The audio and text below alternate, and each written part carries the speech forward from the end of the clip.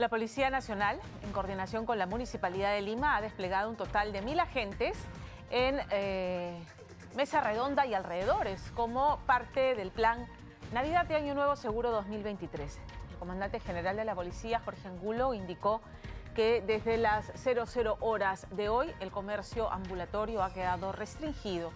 y se han cerrado las vías para evitar ambulantes porque se necesita que los accesos estén libres en caso se presente alguna emergencia. Informó que se ha implementado un puesto de comando con la participación de bomberos, serenos, migraciones y personal administrativo de la Policía Nacional y que la permanencia de los efectivos será continua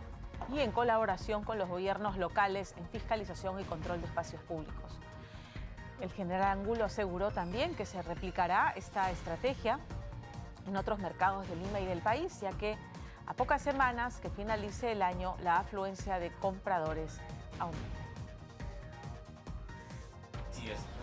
Mire, en el sector interior tenemos acá migraciones, tenemos a porque acá no puede haber nunca más una tragedia que sucedió un 29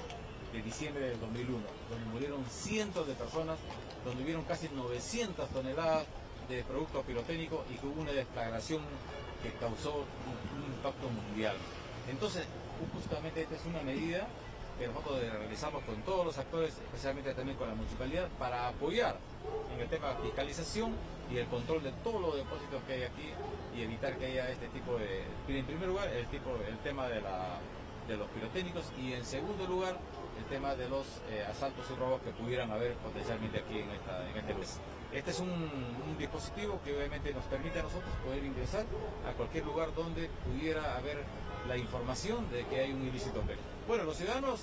eh, como siempre, que nunca pierdan esa capacidad de confiar, nosotros nunca daremos la espalda a nuestros ciudadanos y que siempre estaremos presentes en los momentos más difíciles y que, que tienen ellos.